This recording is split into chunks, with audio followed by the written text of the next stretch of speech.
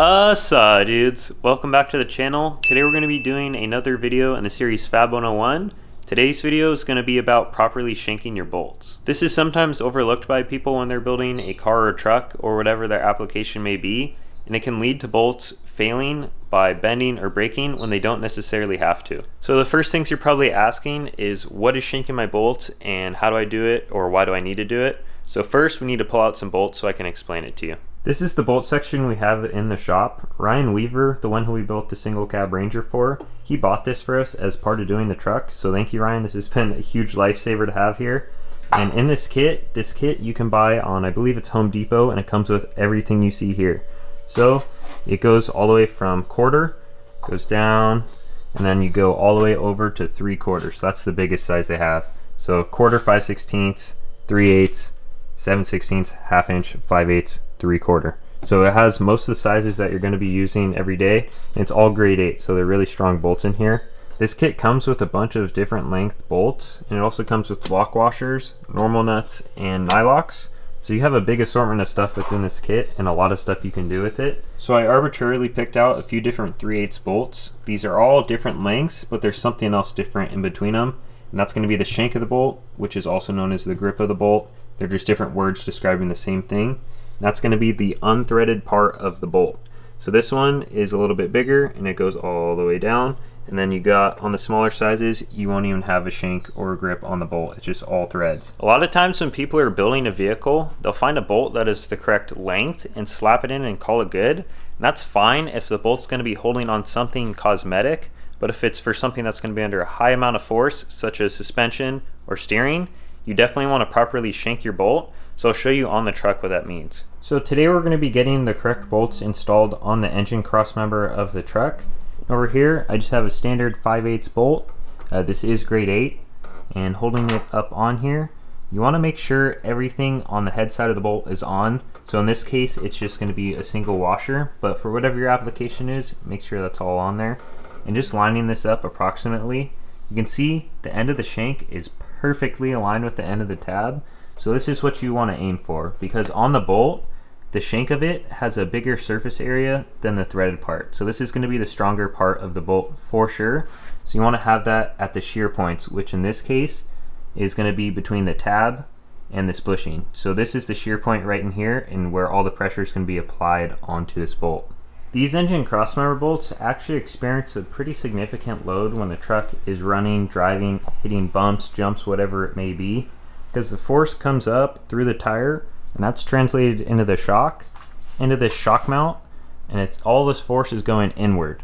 So it's going to want to push up against this engine cross member. So all that force is coming in at these two shear points and onto this bolt. So this bolt is actually pretty important. When we were building Ryan's truck over on this side of the garage just from setting the thing back on its own weight without an engine cross member you could see the shock tower start to fold in just slightly and that's because there's nothing for it to push up against to, which is why these engine cross members are so important.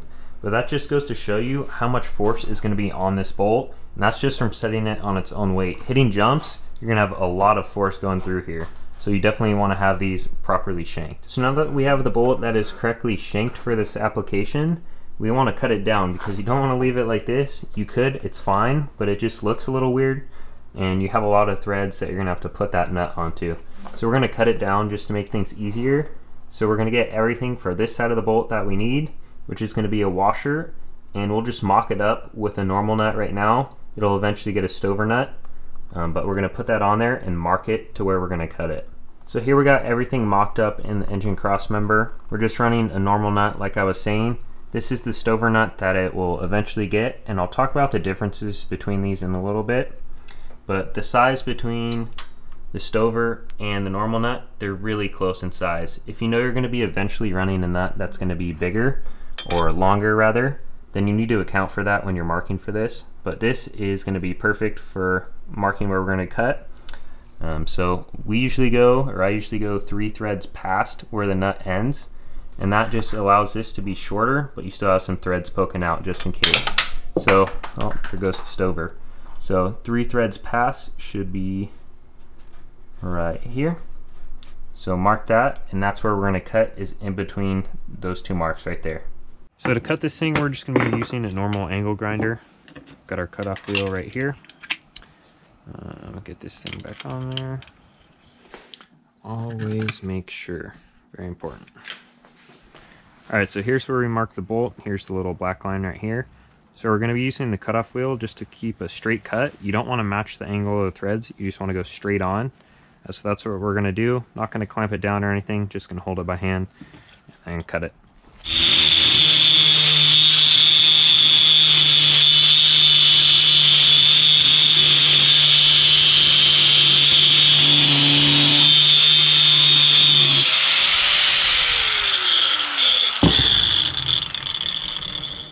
Alright, so we're cut. Now we're going to switch over to the sanding disc and just get this cleaned up. Make sure it's not such a sharp edge and that the nut can thread on there smoothly still.